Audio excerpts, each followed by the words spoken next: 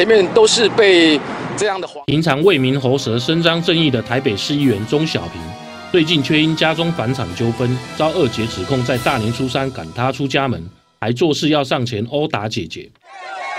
呃，我在客厅，他在妈妈的房间，呃，我就跟他讲，我说小平，你怎么可以任由哥哥们这样子报警把我赶出去？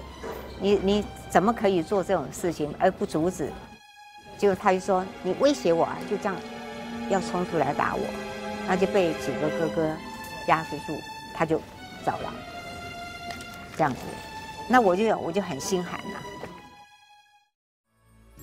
原来钟小平家中共有八姐弟，因从小家里穷，靠二姐下海到舞厅上班才养活一家十口，还供养钟小平念书到专科毕业。那我爸爸就讲说：“弟弟这么多。”外省孩子不读书就是没有出息，就完全要靠读书，不然弟弟们将来就做工啦。我就跟爸爸讲：“爸爸，我应该怎么做？我要帮助家里。”我爸说：“那你去舞厅上班。”所以因为这个样子，我就到新加坡舞厅去上班。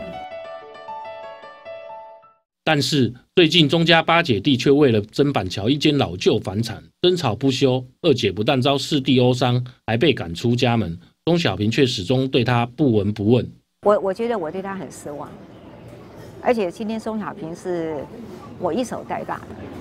我今天为了这个家，不要说我养家，即使我这个姐姐罪大恶极，他们不应该这样对我。钟小平那么有以一个正义伸张，他连家里面的姐姐都不能保护，他当什么民意代表？